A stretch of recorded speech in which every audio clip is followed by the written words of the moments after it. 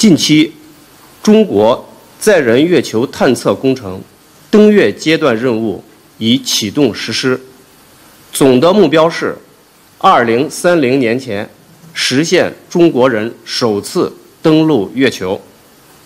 开展月球科学考察及相关技术试验，突破掌握载人地月往返、月面短期驻留、人机联合探测。等关键技术，完成登、巡、采、研、回等多重任务，形成独立自主的载人月球探测能力。针对这一目标，中国载人航天工程办公室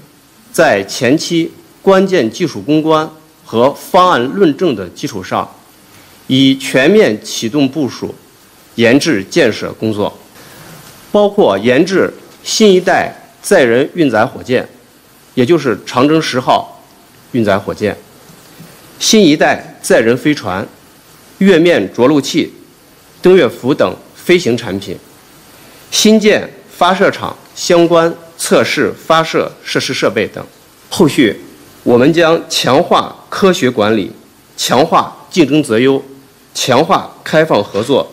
扎实推进。各项研制建设工作，确保如期实现中国人登陆月球的目标。